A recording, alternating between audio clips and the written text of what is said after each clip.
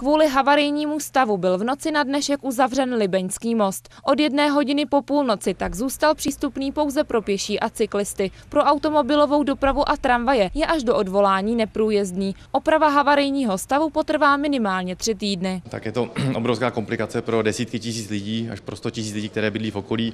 Samozřejmě pro Prahu 7 je to katastrofa, protože přicházíme eh, o jedno ze tří hlavních spojení do Prahy 7. Budeme chtít posilovat maximum eh, dopravy, která tam pomůže lidem a hlavně dát objízdné značení tak, aby každý řidič, případně který není tak zkušený, trefil tam, kam potřebuje. Po celý pátek jsou z Libeňského mostu odkloněny tramvajové linky. Ty budou od soboty jezdit po pevných výlukových trasách, které dopravní podnik hlavního města Prahy zveřejní během pátku. Linka 1 a 25 pojede přes Karlín a linky 6 a 14 budou obsluhovat Dolní Holešovice.